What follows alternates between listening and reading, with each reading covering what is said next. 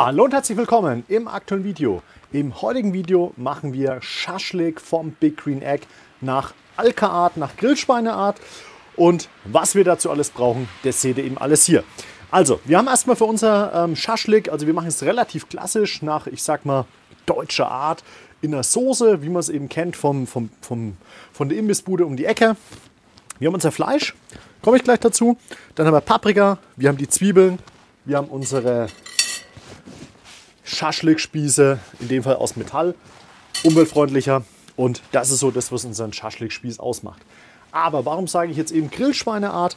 Das Fleisch, was wir haben, ähm, ziemlich äh, üblich ist es ja, dass man sagt, naja, man nimmt eben ein äh, Schweinefleisch, man nimmt vielleicht ein Rindfleisch, man hat Leber mit dabei, je nachdem, was man halt so mag. Wir haben jetzt hier bei uns Schwein, Speck, gut Speck ist auch äh, ziemlich üblich. Ähm, dann haben wir ähm, Rindfleisch, wir haben Lamm mit dabei und das Ganze habe ich vorab mariniert. Und wie das ausschaut, das zeige ich euch jetzt. Wir haben als allererstes Oystersoße in eine Schale reingegeben und ähm, das ist auch die Grundlage, mit der wir eben unsere Soße gemacht haben. Dann haben wir noch äh, Sojasauce mit rein, Zucker und haben das Ganze eben schön verrührt. Und dann noch ganz wichtig, ganz viel Knoblauch. Das ist jetzt also auch Knoblauch, den wir, den wir eben pressen und dieser gepresste Knoblauch, den wir hier reinpacken, ja, das ist, äh, sind 10 10, also wirklich ordentliche Knoblauchmenge. Und dann haben wir unser Fleisch mit reingegeben. Ja, jetzt habt ihr gesehen, wie das Ganze ausschaut ähm, mit dem Marinieren. Das Ganze habe ich über Nacht schon eben stehen lassen und dann ist das hier draus geworden. Also man sieht, es hat natürlich eine sehr einheitliche Farbe jetzt bekommen. Also eben durch unsere äh, Soße hier. Warum habe ich auch die Oystersoße genommen? Die Oystersoße, das ist ja auch eine äh, Sojasauce, allerdings, ähm, ich sag mal mit ähm, Austernextrakt. Da wird wahrscheinlich keine, Extra, äh, also keine, keine Austern groß mit drin sein, aber irgendein Extrakt auf jeden Fall, was dem Ganzen Aroma verleiht. Und durch den Knoblauch wird es auch sehr aromatisch, durch den, durch den Rohrzucker, den wir auch noch mit rein haben. Ähm, auch da wird es wieder eben sehr aromatisch. Und das Ganze ist halt ähm, eine mega geile Geschichte für unser Fleisch. Ja, das ist also das, was wir dann auf unsere Spieße draufpacken. Und dazu werden wir eben noch eine ähm, Soße machen. Diese Soße, die wir hier dazu machen, ähm, die hat verschiedene äh, Zutaten. Wir haben ja erstmal ein bisschen, ich sage jetzt mal Röstgemüse. Also wir haben jetzt ein paar so kleine Abschnitte. Wir haben die Zwiebeln, die zu klein waren für den Spieß, die Paprikastücke, die zu klein waren. Wir haben rote Zwiebeln, die habe ich jetzt hier alle mit drin. Die werden wir erstmal anrösten. Dann haben wir ähm, Paprikamark, wir haben Tomatenmark hier ähm, an der Stelle mit dabei. Dann habe ich eben zweierlei Fond. Das eine ist ein Gemüsefond, den habe ich vergessen äh, noch übrig von, von einem anderen Gericht. Und hier habe ich noch einen Rinderfond, der ist eben noch zu, der kommt auch noch mit rein. Dann passierte Tomaten. Dann haben wir hier, das ist, finde ich persönlich ganz wichtig, das sind Essiggurken. Es gibt also viele, die stecken auch Essiggurken mit auf den Schaschlikspieß mit drauf. Das mache ich jetzt in meinem Fall nicht, ähm, da nicht jeder bei mir in der Familie die Essiggurken mag. Und deswegen ähm, kommen die eigentlich nur in die Soße mit rein und auch den, den Saft der Essiggurken, ähm, also das Wasser. Ähm, auch da wieder, wir probieren nochmal. Habe in anderes, anderen Videos auch schon gemacht.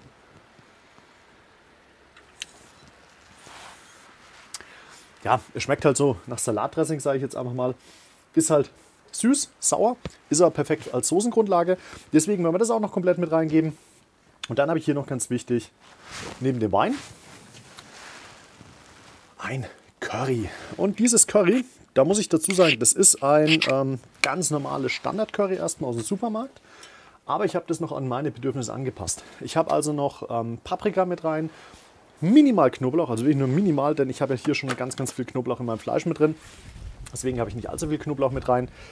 Ähm, kein Salz. Warum? Habe ich auch wieder äh, durch die Sojasauce an meinem Fleisch schon ganz viel mit dran.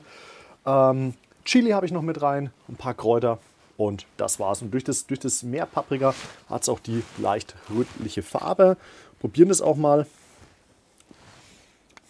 Schmeckt halt sehr, also schon gut paprikalastig, aber also finde ich sehr geil.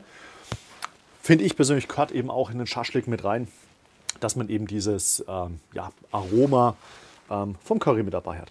Ja, und jetzt würde ich sagen, starten wir erstmal mit dem Soßenansatz. Warum machen wir das? Ähm, jetzt mit dem Soßenansatz starten. Hintergrund ist ganz einfach. Ein Gulasch beispielsweise, das kann ich natürlich über drei, vier Stunden einfach schmoren.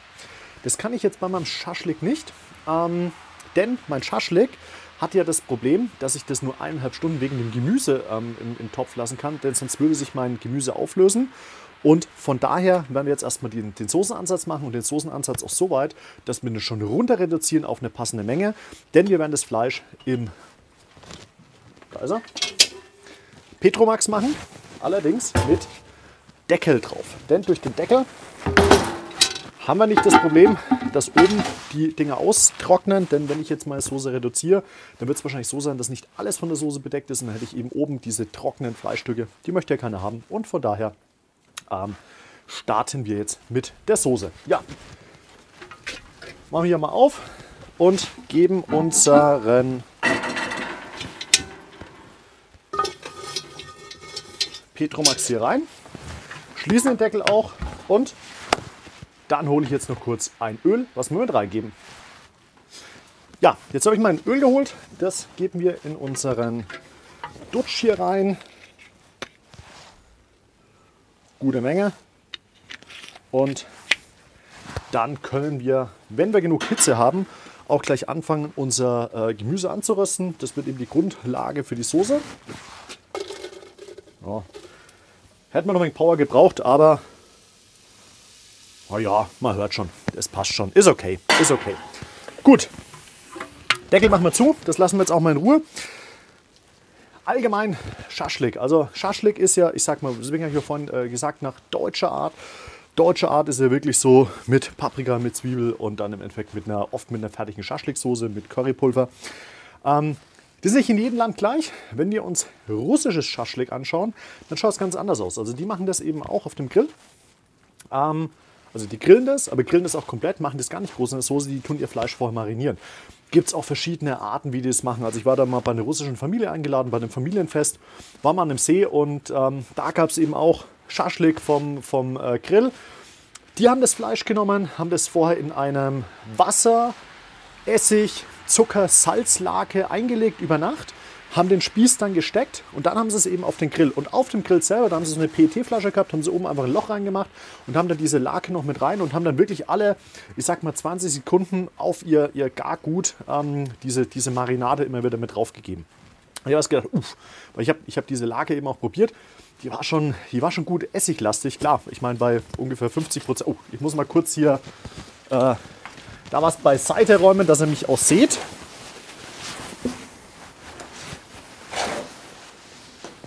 So, ne, mag noch nicht.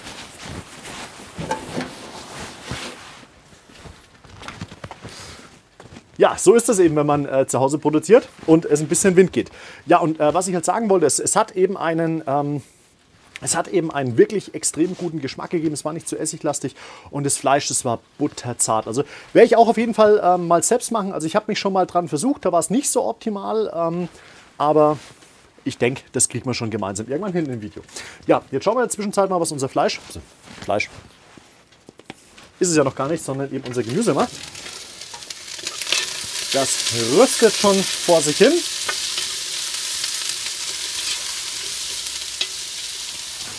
Was wir jetzt auch schon gleich mit reinmachen, ist unser Paprikamark und unser Tomatenmark. Denn ihr wisst ja, Paprika ähm, äh, Tomatenmark natürlich immer mit anrösten wegen der Säure, dass die rausgeht. So, haben wir einmal Paprika. Und dann haben wir noch Tomatenmark.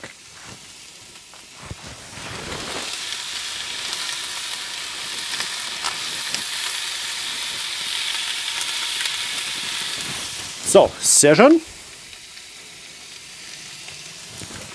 Kommen hier beiseite, rühren noch mal rum.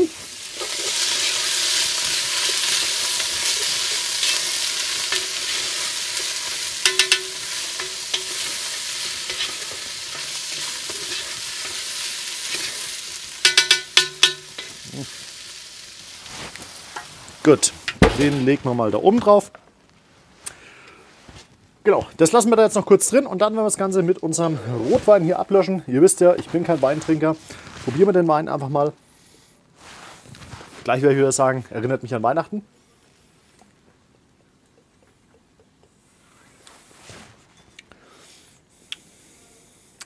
Der ist ein sehr trockener Rotwein. Also zieht es einem schon richtig den Mund zusammen.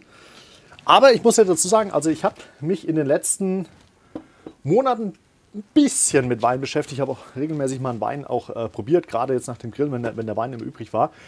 Ich finde schon gar nicht mehr ganz so schlimm wie früher einen Wein zu trinken. Also früher war für mich Wein, also einfach hat mir nicht geschmeckt. Jetzt habe ich schon äh, häufig mal einen Wein probiert und äh, langsam komme ich, glaube ich, in den Genuss. Also vielleicht in einem Jahr oder so in meinen äh, Grillvideos werden wir vielleicht eine Weinverkostung machen, weil ich dann zum Weinprofi geworden bin. Schauen wir mal vielleicht. Aber auf jeden Fall, ich finde es gar nicht mehr so schlecht. Ähm, werde mich damit auch weiter beschäftigen. Wie gesagt, wenn ihr ähm, irgendwelche Infos zum Wein habt, wenn ihr eben sagt, oh, der eine Wein hier, ich halte den da mal rein, muss aufpassen, dass es nicht rausläuft. Den kenne ich, ich kann was dazu erzählen. Schreibt es in die Kommentare. Würde ich gerne irgendein Video auch mal mit aufnehmen. Und ansonsten, ja, kommt er jetzt einfach bei mir mit in mein, in mein Gemüse.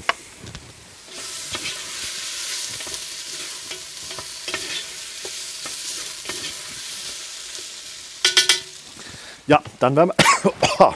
so, wollen wir jetzt das Ganze mit Wein ablöschen.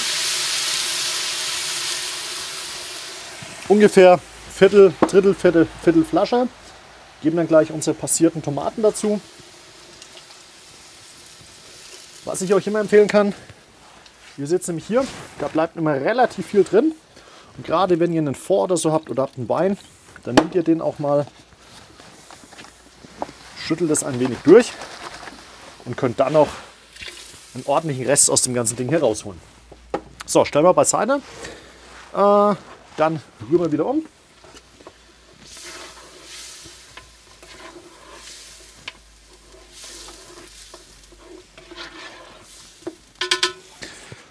Und geben jetzt unseren, unsere Gemüsebrühe, Gemüsefond von gestern und unseren Rinderfond noch mit rein.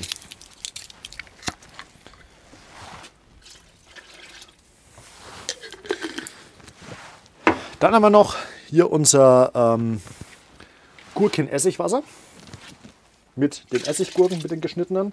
Auch das geht mit rein, das kennt man so ein bisschen auch von der Zigeunersoße, machen das auch viele.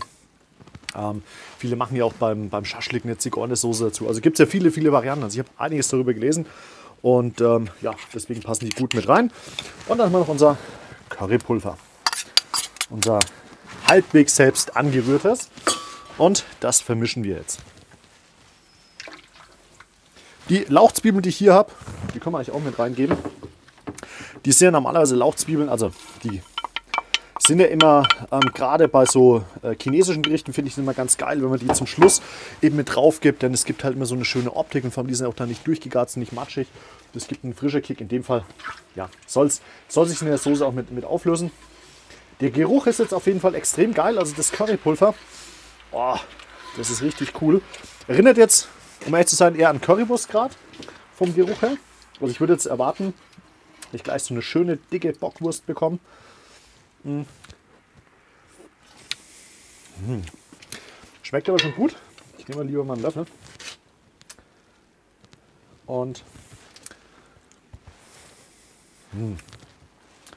also hat schon, hat schon echt einen guten Geschmack. Also dieses, also das, das Currypulver, also ich meine, ist ein fertiges aus dem Discounter und ein bisschen angemacht. Gibt schon, gibt schon gutes Aroma. Ja, und jetzt ist natürlich wichtig, wir köcheln das Ganze jetzt hier. Ähm, aber ich glaube, wir geben noch gleich restlichen Rotwein, also eine gute Menge mit rein. So. Und das restliche Drittel ist dann für den Koch zum Abendessen. Schon beiseite. Und dann schließen wir jetzt den Deckel. So, okay. Die ähm, Soße, die kann jetzt auf jeden Fall kochen. Jetzt gucke ich, dass mein Tisch halt nicht, dass mir das Ganze jetzt um, umkippt, passt. Jetzt fangen wir an, unsere äh, Spieße hier zu machen bei den Spießen, ja, ich meine, das wird jetzt keine große Revolution. Ähm, man steckt es eben abwechselnd. Ich glaube, das kriegt jeder hin. Da braucht man keinen, keinen großen Kurs dazu. Was ich aber empfehlen kann, ist, damit ihr am Ende auf jeden Fall Fleisch habt und keine Paprika. Denn das Fleisch ähm, durch das Fett und natürlich durch die, durch die größere Dicke, das rutscht nicht so einfach runter. Das heißt, nimmt man Paprika oder, oder Zwiebeln und packt die am, am Ende, dann fallen die relativ leicht in die Soße. Ist ja nicht weiter schlimm, aber ja, wollte ich halt mal erwähnt haben. Gut, hier ist unser Teller, wunderbar. Und einen Spieß machen wir gemeinsam, den Rest mache ich dann alleine in aller Ruhe. Ähm, hier außen, das ist das Schöne bei, bei dem Spieß, ist es umgebogen, das heißt, da kann ich es runterfallen. Also in dem Fall ist es egal, mit was ich beginne in dem äußeren Bereich. Ähm, muss man aufpassen, dass einem nicht sowas passiert wie jetzt gerade hier bei mir. Dann ist es nicht ganz so toll. Ich glaube, das machen wir nochmal neu. Spießen das nochmal schöner auf. So ist es doch besser. Beziehungsweise, ähm, wenn ihr es ausspießt, am besten natürlich immer so in die, in die Fleischrichtung, dass es alles schön zusammen ist und dann äh, spießen wir es auf. Genau, hier wir eben verschiedenes Fleisch. Ähm, das ist auf jeden Fall ein Rindfleischstück. Ich habe versucht, die möglichst in der gleichen Größe zu machen. Ähm, aber ja, so hundertprozentig perfekt ist es nicht. In den meisten Fällen ist auch immer so, man wechselt dann ab. Man macht dann eben beispielsweise erst äh, Fleisch, dann Zwiebel, dann Paprika und dann wieder Fleisch und so weiter und das mischt man einfach durch. Genau, Speck habe ich auch noch mit dabei. Speck gibt dem Ganzen natürlich einfach mehr Aroma. Das gibt dem einfach Körper durch das ganze Fett, was da mit dran ist. Also eine schöne, geile Geschichte. Da haben wir jetzt ein Schweinefleisch. Wollen wir ein Lamm auch noch auf die Schnelle finden. Genau, das ist das Lamm. Ähm, ne, das ist kein Lamm, das ist auch Rind. So, wo haben wir denn Lamm? Das müsste ein, ne, das ist auch kein Lamm. Äh, Lamm habe ich nicht so viel dabei, das heißt, da geht jetzt gerade die Suche wegen los. Ich möchte auf dem Spieß möglichst alles mit drauf haben. Äh, das hier ist ein, müsste ein Lamm sein, genau. Ja, okay. Also, auch mal so von der Erklärung her. Man sieht es eben hier. Ich habe jetzt hier ein Rind. An dem Rindfleisch, da habe ich ziemlich viel Fett noch dran. Dann habe ich den Speck, äh, ist klar. Dann habe ich eben das Schwein. Das Schwein ist recht mager. Da habe ich wirklich die, äh, ein Schweinefilet genommen. Hätte man eigentlich gar nicht machen müssen, weil es eigentlich zu hochwertiges Fleisch ist. Und dann habe ich jetzt eben hier mein Lamm. Und das Lamm ist verhältnismäßig ähm, auch ziemlich mager, aber hat doch leichte Fetteinschlüsse, was eben hier unser Schweinefleisch ähm, an der Stelle gar nicht hat. Daher kann man es erkennen. Also das ist so eine Sache. Früher, wenn mir es gesagt hat, das ist das das Fleisch, ich gesagt, ganz echt, das ist fast unmöglich, das rauszufinden. Aber mittlerweile, wenn man dann oft genug mit den Produkten gearbeitet hat, dann ist es gar kein Problem. Ja, ich habe es nicht ganz so gemacht, wie ich gesagt habe, dass man es eben so abwechselnd macht. Aber wie gesagt, muss man ja nicht, ähm, ist ja nur so optional. Genau. Die Leber nehme ich wahrscheinlich auch beim nächsten Mal noch mit dazu. Hatte ich jetzt diesmal leider nicht. Aber ich finde äh, die Geschichte mit Leber an sich schon ganz geil. Auch wenn ich jetzt Leber gar nicht so mag. Aber das kenne ich noch aus der Kindheit, da war aber auch immer Leber mit dran. Als Kind mochte ich das irgendwie auch nicht, aber trotzdem, ja, aus der Erfahrung finde ich kurz mit dazu. Und deswegen würde ich es einfach gerne wieder mit drauf machen. Denn Geschmäcker ändern sich ja auch. Man es als Kind nicht gemocht hat, heißt ja, dass man es heutzutage vielleicht dann doch mag. Ja, so schaut dann mein, mein Spieß aus. Ähm, die Spieße, die werden wir dann natürlich auch noch angrillen. Ja klar, wir sind bei den Grillschweinen, wir wollen nicht alles im Dutchofen jetzt einfach nur machen. Und deswegen grillen wir das dann nachher auch gleich noch an. Ich mache jetzt erstmal fertig und dann sehen wir uns gleich, wenn ich umgebaut habe und beim Grillen. So, meine Schaschlikspieße sind fertig gemacht und meine Soße ist auch soweit schon reduziert. Ich habe die jetzt auch hier nach drüben auf den Minimax gestellt. Der Minimax, meine schöne Ablage. Ähm, hätte ich jetzt auch ein bisschen warm machen können, aber ich habe jetzt so viel Power in dem Topf drin, dass in den, sagen wir 15 Minuten, wo ich mein Fleisch angrill, dass es kein Problem ist, wenn es jetzt einmal ein wenig ruht. Ähm, dass ihr euch das mal anschauen könnt, wie das jetzt ausschaut. Meine schöne Pyramide, die ich gebaut habe. Halten wir mal in dieser Kamera hier. Oh, ist ein Traum. Und jetzt sieht man es nicht, das ist nämlich auf der anderen Seite. Mist. Ich drehe es mal kurz. Und hier unten sieht man nämlich auch die Soße, die schon eben aus dem Fleisch ausgetreten ist. Also meine Oyster Knoblauch ähm, mit Rohrzucker. Oh, da ist gerade Schnee runtergefallen von meinem Dach. Ähm, ja, gut. Und das grillen wir jetzt eben an. Den Big Green Egg, den habe ich jetzt noch mal ein bisschen eingeheizt. Ich habe jetzt auch bald meine ganzen Briketts alle aufgebraucht, die ich eben alle hatte, dass ich dann demnächst nur mit Kohle grillen kann. Denn auch da war ja schon die Frage, warum, warum nimmst du denn eigentlich manchmal Briketts und nicht nur Kohle? Denn eigentlich wird ja immer ähm, auch Kohle für den Big Green Egg empfohlen. Empfehle ich euch auch. Ich habe nur aus den Weberzeit noch ganz viel Kohle übrig und ich habe echt viel Kohle gekauft gehabt. So, und was habe ich jetzt hier noch gemacht? Ich habe hier noch ein Schmuckstück mit rein.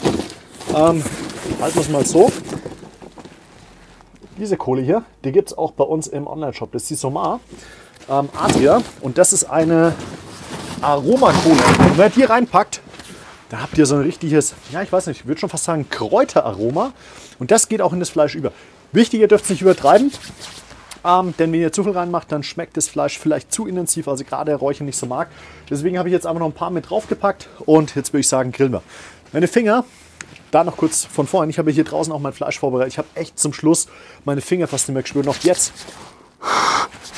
Oh, ist es schon, es ist schon echt kalt hier draußen. Gut, dann schauen wir hier mal rein. Ähm, mit Luftleiter habe ich auch schon ein wenig Power reingegeben. Machen wir jetzt auch noch mal ganz kurz. Ihr seht, wie geil das einfach funktioniert. Man geht hier drauf und oh, Bam hat man sofort Flamme. Also wenn man überlegt, wie es vorher ausgeschaut hat und jetzt, da ist der hier schon brachial gut. So, und dann tun wir jetzt unsere Spieße drauf. Und wie immer habe ich die Hälfte vergessen. Ich ähm, gehe kurz rein und hole noch meinen, meine Grillzange. So, bin ich zurück mit meiner Original Big Green Egg. Grillzange, gute Qualität, kann ich wirklich empfehlen. Kostet natürlich ihr Geld, aber ist halt auch wie der Big Green Egg für die Ewigkeit. So, dann geben wir das Ganze noch mal drauf. Wobei eigentlich hätte ich es auch direkt drauflegen können. Aber zum Wenden werde ich es auf jeden Fall brauchen. So. Ich habe jetzt natürlich in der Marinade gar kein Öl drin. Das heißt, da muss ich jetzt noch aufpassen, dass mir das Ganze nicht festklebt. In der Mitte habe ich natürlich die ultimative Hitze, außen dann weniger Hitze. Das kann man sich dann auch eben zum Vorteil machen beim Grillen. Und man sagt, naja, man grillt es eben in der Mitte an und legt es dann nochmal an die Seite und tauscht dann immer wieder mal durch. Ja, das wird jetzt noch ein bisschen brauchen. Gibt es was zu erzählen? Nee, eigentlich nicht. Doch, ein was gibt es noch zu erzählen. Ich habe natürlich ähm, ganz am Ende noch ein wenig Paprika, Zwiebeln übrig gehabt, noch ein bisschen Speck äh, übrig gehabt. Das habe ich hier noch mit reingepackt. Ähm, ja, gibt halt aber Aroma und ja, ist jetzt schon eine schöne, schlotzige, dicke Soße. Ja, dann äh, würde ich sagen, ich grill das Fleisch einmal fertig und dann sehen wir uns gleich, wenn ich den nochmal umgebaut habe. Mit unserem schweren Konvektor. Und aus dem Big Green Egg einen Ofen gemacht habe, um dann unser Schaschlik eineinhalb Stunden zu garen. Bis gleich. Mein Fleisch ist fertig gegrillt, mein Grill ist umgebaut. Schaut euch das an, das ist der Hammer. Muss nur schauen, dass es mir nicht runterfällt, das wäre nämlich jetzt sehr ärgerlich. Oh, so ist das Ganze fertig gegrillt. Das dampft noch wie Sau. Und ich habe schon das erste Stück probiert. Diese, diese Soße, diese Marinade mit der Oystersoße. Das sind jetzt meine zwei, die ich zur Seite gelegt habe. Ich konnte es nicht erwarten. Ich wollte nämlich schon gleich probieren. Ich habe auch hier schon ein Stück gegessen. Und jetzt versuche ich mal, dass ihr auch zuschauen könnt. Man sieht es eben, wie geil das Fleisch auseinander geht. Und das ist so butterzart. Hm. Machen wir noch mal ein größeres Stückchen Zwiebeln tun wir beiseite. Aber schaut euch das an. Diese Saftigkeit vom Fleisch. Und das geht so schön auseinander. Mmh. Das ist echt ein Genuss. Mmh. Das Allergeilste, durch diese Holzkohle vom Kräuterbaum, das ist ein schönes, dezentes Raucharoma. Die Sojasauce kommt zur Geltung. Echt top. Also ich freue mich, wenn es fertig ist. Ich werde berichten.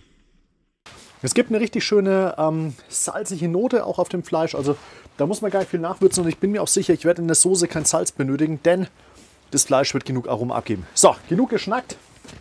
Jetzt geben wir unseren Petromax hier rein. Der ist auch nicht mehr so heiß, zumindest nicht der Griff. Haben ja auch ein paar Grad Außentemperatur nur. Aber man sieht es hier, der hält halt natürlich auch gute Hitze. Und da geben wir jetzt unser Fleisch mit rein. Ich habe nur gerade, mal, dass ihr mehr seht. Stopp, in die Richtung müssen wir.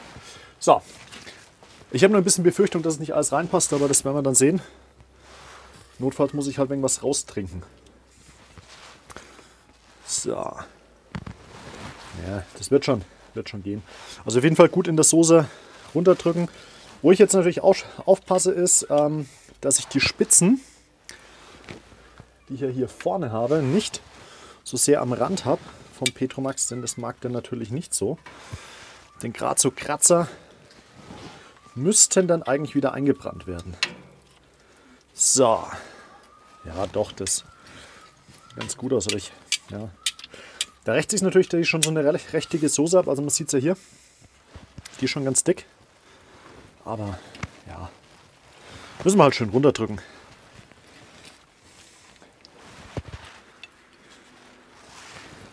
Das Fleisch ist jetzt natürlich nicht hundertprozentig durchgegart, ganz klar.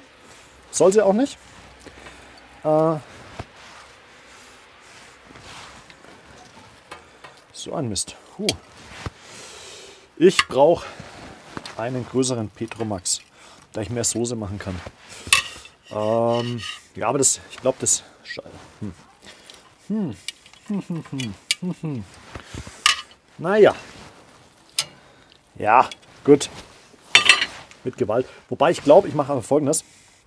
Ich lege mir die zwei beiseite. Die grille ich mir einfach so, die esse ich dann zwischendurch. Die gar ich mir so durch. Ich habe ja noch Wein übrig. Ähm, den gibt es nachher also nicht für mich, sondern gibt es lieber, dass wir mehr Soße haben, weil ich glaube, das reicht sonst fast nicht. Da haben wir noch Saft, den geben wir auch noch mit dazu. Wollen wir nichts verschwenden. Da machen wir unseren Deckel oben drauf. So, und eineinhalb Stunden haben wir gesagt. Schauen wir mal kurz auf die Uhr. Jetzt haben wir 13.17 Uhr, also um 14.45 Uhr. Ähm, soll das ganze Ding hier ähm, dann fertig sein. Temperaturtechnisch, da muss ich jetzt aufpassen, denn ich habe ja meine schöne äh, Kräuterbaumholzkohle rein und die hat, die hat Power, die hat echt Power. Also ich habe vorhin dann echt schon so 230 Grad nach ganz kurzer Zeit wieder gehabt.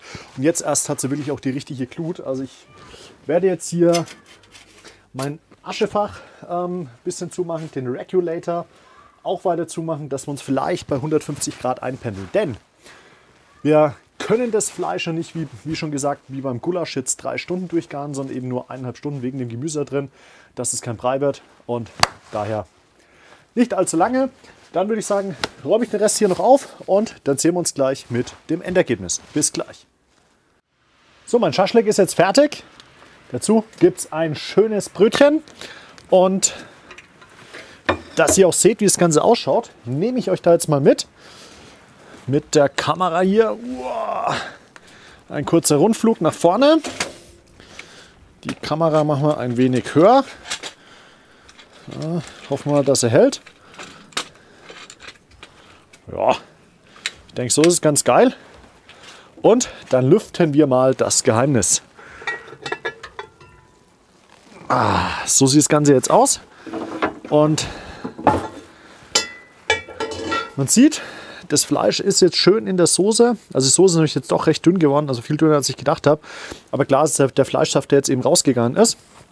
Und das werden wir jetzt mal probieren. Und um das zu tun, stelle ich euch wieder nach vorne so. Okay, Kamera hält. Ja, sollte passen. Und dann machen wir uns das schöne Schaschlik da mal drauf. Hm. Was kommt da noch ein schöner Schöpfer von der Soße? Aber das wird das Gericht. Also sehr einfach, sehr klassisch. Mmh. Und butterzartes Fleisch. Also vorhin, das war schon extrem geil, aber jetzt mmh. gleich mal 10. Top. Mmh.